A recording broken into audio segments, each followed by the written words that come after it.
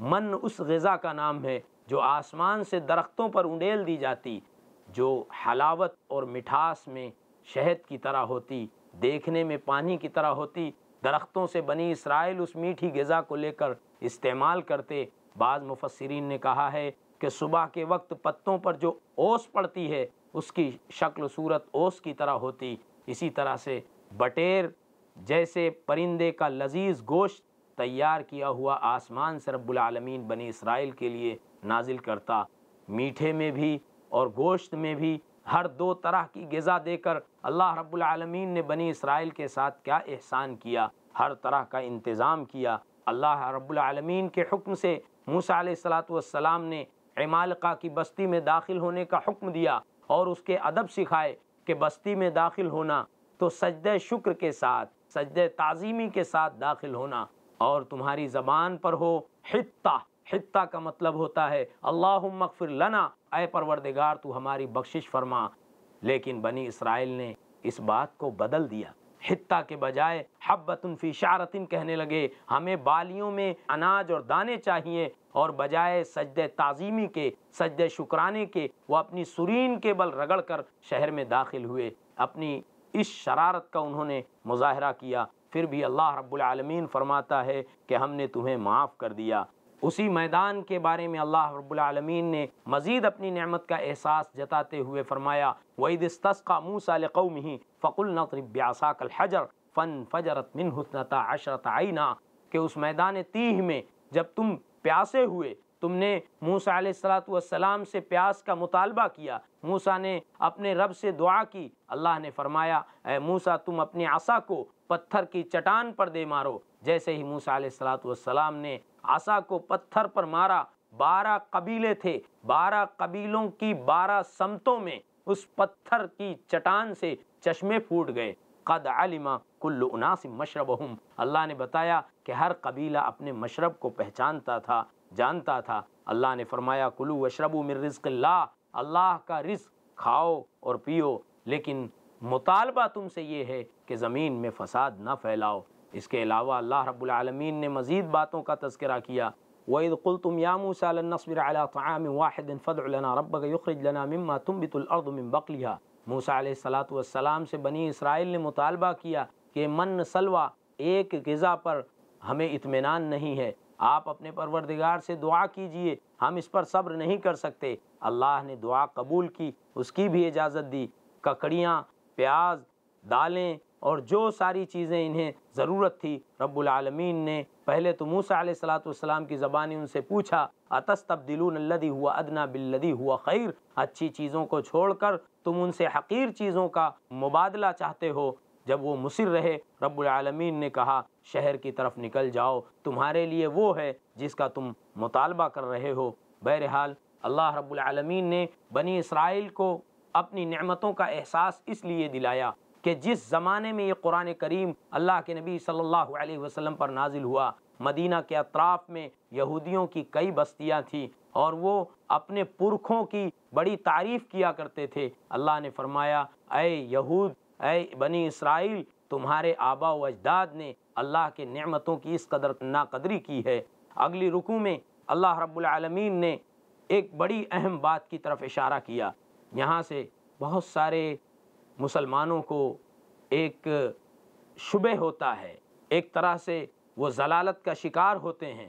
اور بہت سارے علماء کرام وحدت ادیان کی بات کرتے ہیں۔ اللہ رب العالمین نے اس آیت کریمہ میں فرمایا، ان الدین آمن والذین ہادو جو لوگ ایمان لے آئے، جو یہودی ہوئے، اور جنہوں نے عیسائیت کو قبول کیا، والصابئین، اور جو کسی بھی دین پر ہو گئے من آمن باللہ والیوم الاخر، ان تمام لوگوں میں سے جو اللہ پر ایمان رکھے، آخرت کے دن پر ایمان رکھے، نیک عمل کرے، فلہم اجرہم عند ربہم، تو ان کے پروردگار کے پاس ان کے لیے اجر ہے، ولا خوف علیہم ولا هم يحزنون اس آیت کریمہ سے کچھ لوگوں کو مغالتا ہوا اس بات کا کہ جو جس دین پر ہے وہ صحیح ہے، لیکن آیت کا تقاضا یہ تھا کہ اپنے زمانے میں جو یہودی توریت پر قائم تھے۔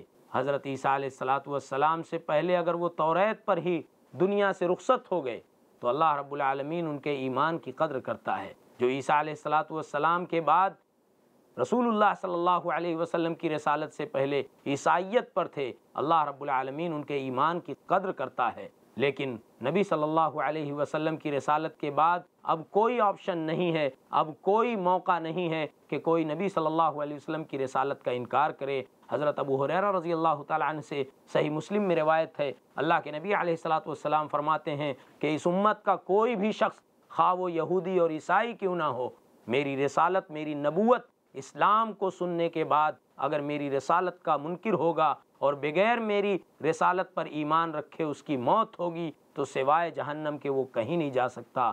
لہٰذا وحدت ادیان کا ثبوت دینا، اس آیت کو پیش کرنا وحدت ادیان کے اس بات کے لیے یہ ایک گمراہی ہے۔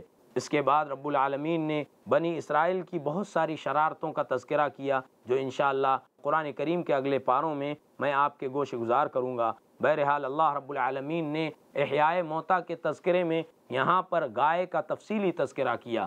سرسری طور سے میں عرض کرتا چلوں ناظرین کرام کہ موسیٰ علیہ السلاۃ والسلام کے زمانے میں بنی اسرائیل میں ایک شخص نے راتوں رات اپنے چچا کا قتل کر دیا۔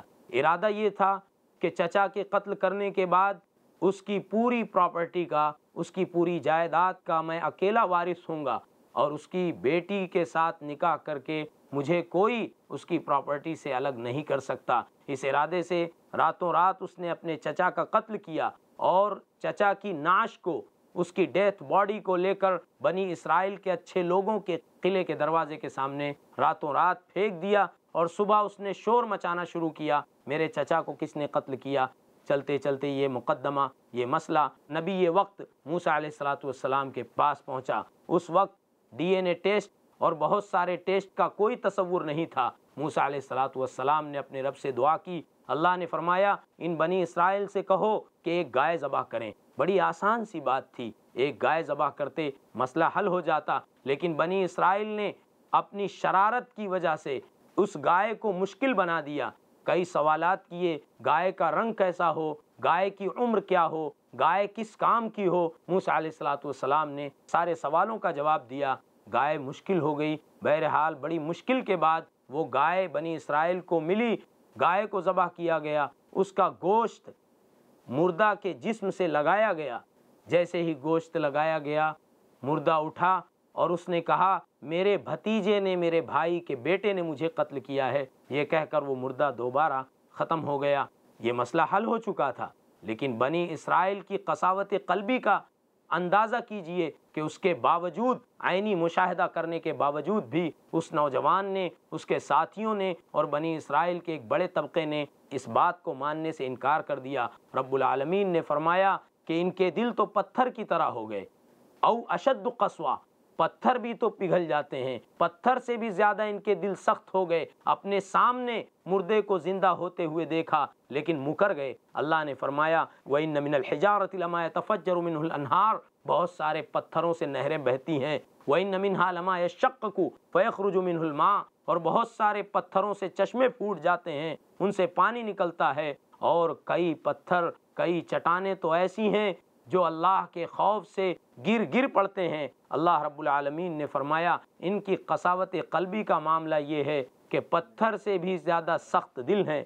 اللہ رب العالمین نے یہ واقعہ اس لیے نقل کیا ہے تاکہ یہ واضح ہو جائے کہ عینی مشاہدوں کے بعد، معجزات کو اپنی آنکھوں سے دیکھنے کے بعد بنی اسرائیل ہی انکار کر سکتے ہیں اور رسول اللہ صلی اللہ علیہ وسلم کے زمانے کے بنی اسرائیل اور یہودیوں کو اللہ رب العالمین نے اس طرح سمجھانے کی کوشش کی ہے۔ یہ جب تنہائی میں ہوتے تو رسول اللہ صلی اللہ علیہ وسلم کا صحابہ کرام کا مذاق اڑاتے اور علماء اپنے عوام سے کہتے، اتحدثونہم بما فتح اللہ علیکم؟ وہ باتیں جو ہماری کتابوں میں پوشیدہ ہیں یہ مسلمانوں کے پیغمبر محمد الرسول اللہ صلی اللہ علیہ وسلم کو کیسے معلوم ہو جاتی ہے؟ تمہیں لوگوں نے جا جا کر بتائی ہوں گی وہ راز کی باتیں نہ بتاؤ۔ کل کو یہ تمہارے خلاف حجت پیش کریں گے۔ اللہ رب العالمین نے اس لیے ان آیتوں کو نازل کیا کہ ان بے وقوفوں کو نرے جاہلوں کو یہ نہیں معلوم ہے کہ اللہ رب العالمین اپنے فرشتے جبرائیل امین کے ذریعے ان کی ساری باتوں کو اپنے پیغمبر کو بتاتا ہے۔ اللہ فرماتا ہے، اولا يعلمون ان اللہ يعلم ما يسرون وما يعلنون یہ چاہے کسی بات کو کتنا ہی چھپائیں، راز میں رکھیں یا اعلان کریں، اللہ رب العالمین ان کی ساری باتوں کو جانتا ہے۔ ان کا دوسرا طبقہ امیوں کا تھا جو ہلا کا تھا۔ اللہ نے فرمایا، ان کا مقصد زندگی یہ ہے کہ اپنے علماء کی بات، اپنے احبار و رحبان کی بات کی تقلید کریں، ان کے پیچھے چلیں، دلائل سے قطع نظر صرف اپنے بڑوں کی باتوں پر یقین رکھیں۔ اللہ نے فرمایا، انہیں صرف آرزوؤں سے مطلب ہے، انہیں صرف گمان سے مطلب ہے۔ آگے چل کر رب العالمین نے ان کے لیے ویل کی تنبیہ کی ہے اور اشارہ کیا ہے کہ ایسے دونوں طبقات کے لیے اللہ کے پاس جہنم کی ہلاکت ہے، ویل ہے، جہنم کی وادی ہے۔ اس رکوع کے آخر میں اللہ رب العالمین نے یہودیوں کی ایک اور شرارت کا تذکرہ کرتے ہوئے فرمایا، ان کا یہ گمان ہے، یہ عقیدہ ہے کہ ہمیں جہنم کی آگ چند دن چھوئے گی، اس کے بعد تو ہمیں جنت میں جانا ہی ہے۔ ان کے بہت سارے گمان میں ایک گمان یہ بھی تھا کہ اس پوری دنیا کی عمر ستر ہزار سال ہے اور ہر ہزار کے بدلے ایک دن ہمیں جہنم میں رہنا ہوگا۔ اس طرح سے ہم سات دن جہنم میں رہیں گے۔ بعض روایتوں میں یہ بھی ہے کہ ہم نے چالیس دن صرف بچھڑے کی پوجا کی ہے، اس لیے ہم اگر بہت زیادہ بھی جہنم میں داخل ہوئے تو چالیس دن سے زیادہ جہنم میں نہیں رہیں گے۔ اس کے علاوہ بھی بہت ساری متعدد روایات ہیں بنی اسرائیل کے مطالبات کی اور ان کی خوشگمانیوں کی۔ بہرحال اللہ رب العالمین نے ان ساری چیزوں کو گاہے بگاہے بیان کیا ہے۔ میں ناظرین کرام، آپ کے گوش گزار کچھ اہم باتیں کرنا چاہتا ہوں کہ یہ مدینہ کے اطراف میں آ کر بسے تھے۔ ان کا مقصد یہ تھا خیبر اور شام سے مدینہ کے مضافات میں آ کر بسنے کا ان کا مقصد یہ تھا کہ یہ آخری پیغمبر کی علامتوں کو اپنی کتابوں میں پہچانتے تھے۔ وہ جانتے تھے کہ مدینہ ہی میں آخری پیغمبر آئیں گے۔ لیکن جب رسول اللہ صلی اللہ علیہ وسلم بنی اسماعیل میں سے آئے تو وہ حسد کا شکار ہو گئے، بغاوت کا شکار ہو گئے، اعتراضات کرنے لگے، اللہ کی نعمتوں کو بھول گئے۔ کل تک جنگ جیتتے تھے، آج انہوں نے انکار کر دیا۔ رب العالمین نے ان کی ساری باتوں کو اپنے کلام میں بیان فرمایا ہے۔ ان کا اعتراضات میں ایک اعتراض یہ بھی تھا کہ حضرت سلیمان علیہ السلاۃ والسلام کی حکومت جادو کے بلبوتے تھی۔ اللہ کی کتابوں کو پس پشت ڈال دیا اور سلیمان علیہ السلاۃ والسلام کے زمانے میں جو جادوگری کا چرچا عام تھا، اس کا حوالہ دینے لگے۔ اللہ رب العالمین نے اس کی نفی کی ہے اور کہا ہے کہ سلیمان علیہ السلاۃ والسلام نے جادو نہیں سیکھا۔ جادو کے بلبوتے ان کی حکومت نہیں تھی، بلکہ سلیمان علیہ السلاۃ والسلام نے جادو کے تمام دستاویز کو اپنے تخت کے نیچے دفنا دیا۔ پھر رب العالمین نے ہاروت اور ماروت دو فرشتوں کو بابل شہر میں نازل کیا۔ یہ بتانے کے لیے کہ جادو الگ شے ہے اور اللہ رب العالمین اپنے انبیاء کرام کو جو معجزات عطا فرماتا ہے وہ الگ شے ہے۔ اس کے علاوہ بنی اسرائیل کی آزمائش بھی ایک بنیادی مقصد تھا کہ اللہ رب العالمین نے ان ہاروت اور ماروت کو جادو سکھانے سے پہلے، جادو سیکھنے سے منع کرنے کی تلقین کی تھی۔ وہ منع کرتے تھے، لیکن بنی اسرائیل بزد تھے۔ اللہ رب العالمین نے ان کی آزمائش کے لیے انہیں بھیجا تھا۔ اس سلسلے میں ایک قصہ یوں بیان کیا جاتا ہے، تفسیری روایات میں فرشتوں نے اللہ رب العالمین سے کہا کہ بنی آدم اس قدر فساد پھیلائے ہوئے ہیں ہم رب العالمین تیری تسبیح بیان کرتے ہیں۔ اللہ نے فرمایا، وہ خواہشات جو بنی آدم کی فطرت اور جبلت میں ہے اگر وہ خواہشات نفسانی تمہارے اندر ہوتی تو تم بھی فساد کا شکار ہوتے۔ فرشتوں نے کہا، اللہ رب العالمین ہم صرف تیری ہی تسبیح بیان کرتے۔ پھر اللہ رب العالمین نے دو عابد و زاہد فرشتوں کو، ہاروت اور ماروت کو انسانی شکل و شباہت عطا کی اور ان کے اندر انسانی خواہشات پیدا فرما دی اور انہیں بابل شہر میں بھیجا۔ وہ شراب کے نشے میں دھت رہتے تھے۔ زہرا نام کی ایک پارسن عورت سے انہوں نے الفت اور محبت کی، پھر شیاطین سے انہوں نے جادو سیکھا۔ یہ روایت بیان کی جاتی ہے۔ شیخ ابن حجر رحمہ اللہ نے فتح الباری کتاب الطب باب السحر میں گرچہ اس کو بیان کیا ہے، لیکن حافظ ابن کثیر رحمہ اللہ فرماتے ہیں کہ یہ مرفوع روایت نہیں ہے، اس کی کوئی اصل نہیں ہے۔ اللہ رب العالمین نے ہاروت ماروت کو بنی اسرائیل کی آزمائش کے لیے بھیجا تھا۔ اگر ایسا ہوتا تو صحابہ کرام بھی جادو سیکھتے۔ بہرحال علماء امت نے اس بات کی نفی کی ہے اور یہ واقعہ صحیح نہیں ہے۔ خلاصہ کلام یہ ہے کہ بنی اسرائیل کو رب العالمین نے کئی باتوں سے آزمایا، لیکن حسد صرف اس بات کا تھا کہ اللہ کے نبی علیہ السلاۃ والسلام بنی اسرائیل سے ہونے کے بجائے بنی اسماعیل سے تھے۔ وہ بار بار طنز کرتے تھے۔ صحابہ کرام جب اللہ کے نبی صلی اللہ علیہ وسلم کو اپنی طرف متوجہ کرتے رائنا آپ ہماری طرف التفات فرمائیے تمہارے طنز تعریض کے وہ رائنا کہتے، اے ہمارے چرواہے سے خطاب کرتے۔ اللہ تبارک تعالیٰ نے ان کی ان تمام شرارتوں کو درجہ بدرجہ بیان کیا ہے۔ محترم ناظرین کرام، چونکہ وقت ہو چلا ہے میں آپ کو اختصار کے ساتھ یہ عرض کرنا چاہوں گا۔ صورت البقرہ کے اس پہلے پارے میں اللہ رب العالمین نے ان واقعات کو تفصیل سے بیان کیا ہے جن کا تعلق بنی اسرائیل سے تھا اور اخیر میں اللہ تبارک و تعالیٰ نے ملت ابراہیمی کو بیان کیا، یہود و نصارہ کے اختلافات کی طرف اشارہ کیا اور کہا کہ یہ صرف دعوے دار ہیں کہ ہم ابراہیم علیہ السلاۃ والسلام کی ملت پر ہیں، جبکہ ملت ابراہیمی یہ تھی کہ اللہ نے کہا اسلم قال اسلم رب العالمین۔ اے ابراہیم تاب فرما ہو۔ تو ابراہیم علیہ السلاۃ والسلام نے کہا، اے اللہ، میں فرما بردار ہو گیا۔ پھر ابراہیم علیہ السلاۃ والسلام اور حضرت اسماعیل علیہ السلاۃ والسلام نے خانہ کعبہ کی تعمیر از سر نو کی۔ اللہ نے اس کا بھی تذکرہ کیا۔ امام قسطلانی رحمہ اللہ فرماتے ہیں کہ خانہ کعبہ کی تعمیر دس مرتبہ ہوئی۔ سب سے پہلے فرشتوں نے اللہ کے حکم سے کی۔ پھر آدم علیہ السلاۃ والسلام نے کی۔